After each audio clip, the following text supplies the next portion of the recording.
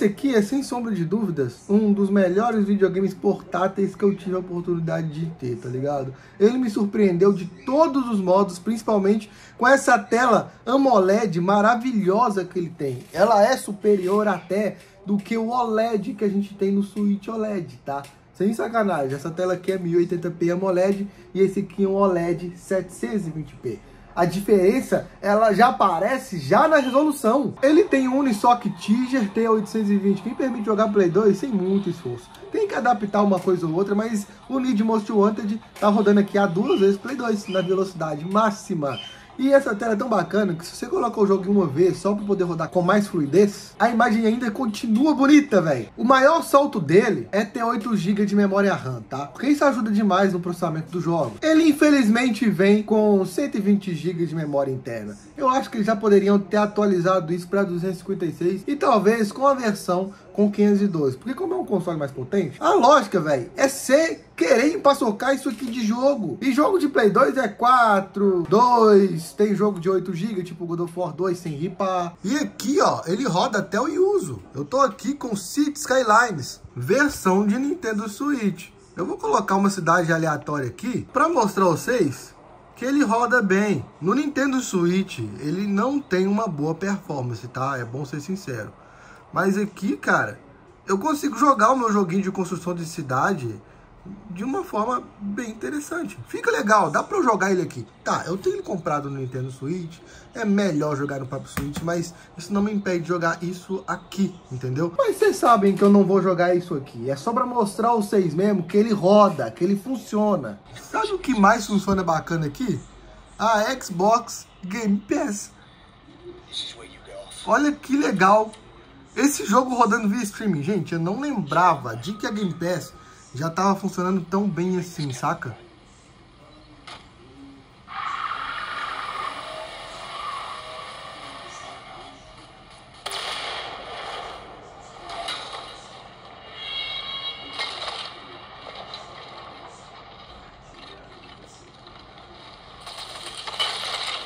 Olha que interessante. Aqui a gente mira, e aqui a gente atira.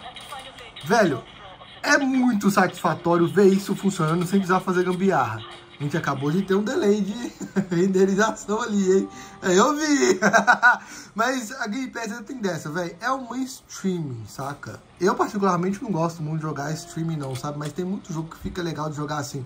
E eu acho que eu vou causar briga aqui. Eu acho que a Game Pass ela funciona melhor do que a streaming no PlayStation Portal tá? Porque ela funciona em qualquer lugar. O PlayStation Portal não. Vocês conhecem o Alien Isolation, né? Pra mim é o melhor jogo da série Alien que infelizmente não teve a continuação até hoje. Véi, numa boa, isso aqui tá rodando na resolução dessa tela, cara.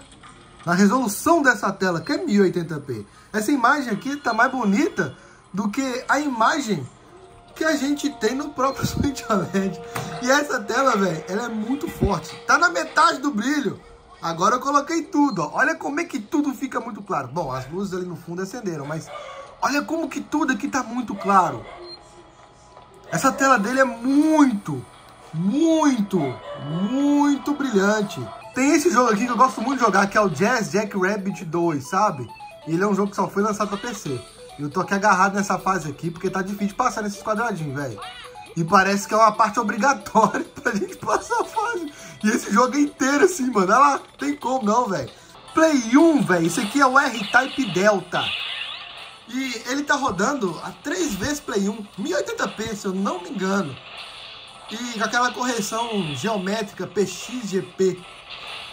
Cara, esse jogo tá maravilhoso. Ele tá mais bonito do que no próprio PlayStation 1, velho. Acaba que essa aqui se torna a melhor plataforma pra gente jogar PSP. Os botões aqui estão invertidos, velho. A gente consegue mudar o tipo de botão. Aqui tá no Xbox. Se eu colocar no, no NS, ele volta a funcionar normal. É porque eu mapeei aqui de um modo completamente errado. E sempre vai dar esse BO se você não trocar na hora de mapear os controles. Mas aqui a gente também pode configurar a ventoinha dele. Se eu colocar Strong, ela vai estar sempre forte, resfriando o console. É, processador quente, ele não funciona bem. Então, geralmente, eu deixo isso aqui no modo alto e com o High Mode ativado, tá? Porque sim, faz diferença na hora de emular qualquer console. A gente desativa isso aqui se a gente quiser economizar bateria. E a ventoinha dele gasta bateria. Eu já reparei que de todos os Ambernic, esse aqui foi o que mais acaba bateria rápido por causa também do cooler e por causa desse auto mode. Se eu deixar isso aqui ativado e esse aqui no alto, ele guardado no modo sleep vai gastar muita bateria e vai descarregar. Então, eu geralmente, quando eu vou ficar muito tempo sem utilizar isso aqui, eu desligo esse console. Semana passada, chegou foi esse aqui pra mim, o transparentão, o azul. E eu gosto bastante dele, porque dá pra ver o cooler dele girando aqui atrás, mano. Aí, mano, chegou ontem pra mim foi o modelo preto. É até bom que vocês vejam como é que é cada console. E eu senti que o plástico desse modelo preto, ele é mais resistente do que esse plástico transparente aqui. Ó, a diferença do barulho é até diferente, né? Porque, obviamente, outro material. Mas aqui no preto, por exemplo, ó, olha a diferença aqui na traseira. Além de você não ver o cooler dele girando aqui atrás, é, o logotipo e os dados da Ambernic, eles estão posicionados de forma diferente, né? Eles fizeram isso de, propositalmente. Porque é legal você ver a parada aqui de trás, né? Eu acho que console transparente, mano, tinha que voltar a, a vir de forma oficial. Você não tem um Joy-Con da Nintendo transparente hoje em dia. Eu tô falando assim, original. Você consegue comprar para estar transparente, pá, mas original não tem. Aqui nós temos um Ambernic 353V. Esse aqui é meu xodózinho. Esse aqui eu não passo para frente de jeito nenhum. E é um Ambernic que também roda Android. Esse aqui já é um modelo antigo. Eu tô sentindo que ele tá perdendo a cor. Mas eu acho que é impressão minha, tá ligado? Mas vocês conseguiram notar a diferença? Eu vou ligar ele aqui rapidão, só para vocês verem a questão do LED do analógico. Como a carcaça dele é preta e fixa, você só consegue ver a bolinha aqui do analógico, né? Ela aqui tá no máximo. E nesse console aqui, essa luz no máximo me incomoda, sabe por quê? Olha que interessante, aqui ela tá completamente no baixo. Se eu colocar no máximo, olha como é que ela fica. Você não vê só a auréolazinha do analógico, porque só isso aqui é de boa. Você vê também os pontos de luz aqui.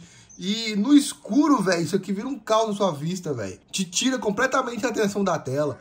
Aí, para não ficar sem graça, né, já que tem luzinha, vão deixar acesa, eu coloco no mínimo e deixo ele piscando assim. Eu acho legal. O transparente vai ficar comigo e esse preto agora é do BL Tech. Ele é brabo, viu, velho? Nu! Vou deixar o canalzinho dele aí na descrição pra vocês se inscreverem, falou?